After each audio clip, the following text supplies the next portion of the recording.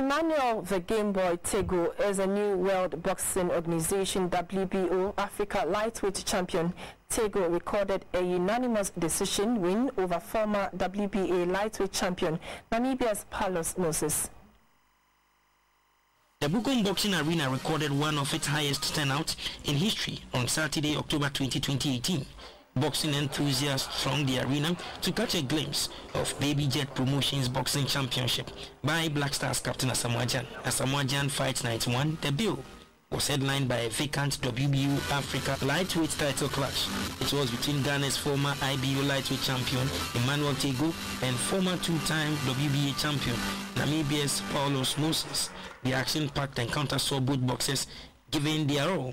Tagoe had a better of the exchanges in almost all the 12 rounds. At the end of the contest, the judges scored the bout in favor of Tagoe. By a unanimous point decision, 3 to 0, the new WBO African lightweight champion presenting to you the boxer who is also known to be called the Boy, Emmanuel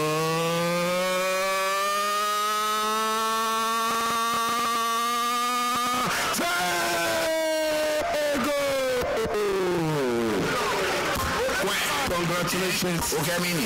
Gasmela. Congratulations. Congratulations.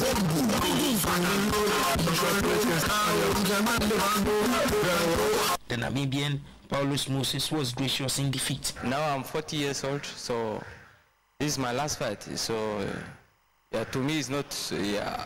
Okay, I get a fight with Emmanuel Tagoe. It's okay. We fight. He's a good boxer, but he cannot do anything. He have to to learn a lot again. So yeah, this is my last fight. Uh, yeah, I'm going to rest now. So it's uh, 18 years in boxing, you see. It's a lot. The champion, Emmanuel Tagoe, dedicated the win to Ghanaians. like no mone inno ke ha Ghana bi ni mo fia mo mi asha me na me na oku ye mi ara yo ma deliver we title ma Ghana very soon. Kecha when next year. Ma ko WBU we title ma Ghana The win for Emmanuel Tagoe means he will be ranked and will have the opportunity to secure a shot at the world title.